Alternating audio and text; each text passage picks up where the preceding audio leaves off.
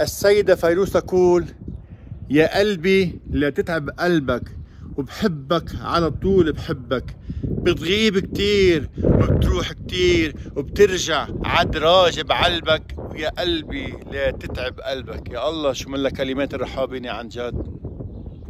فعلا.